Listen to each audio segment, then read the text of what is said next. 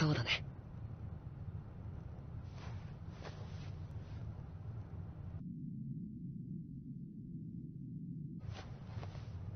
で、また誘われたらどうするんだ？今度はちゃんとセックスするんだろ？どうかな？もう見放されてるかもしれない。ああいうタイプは一途に思い詰めるタイプだよ。たく、女見る目ねえな。女の子のことはよくわからないけど、これでも人を見る目はあるつもりだよ。ええ偉そうなこと言っちゃって。君に出会わなかったら、僕は自分がどんな人間なのか気づかなかっただろうな。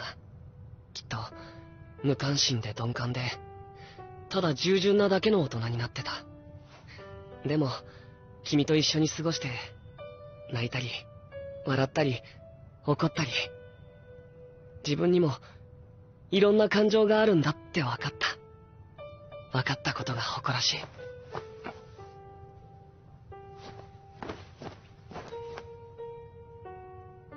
君に出会えてよかった。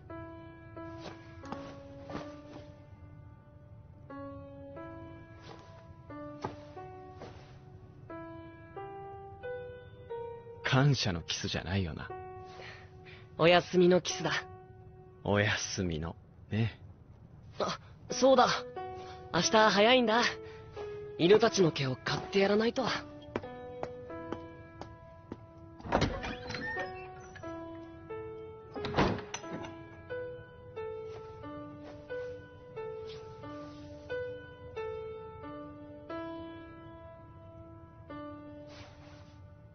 お休みのキスか。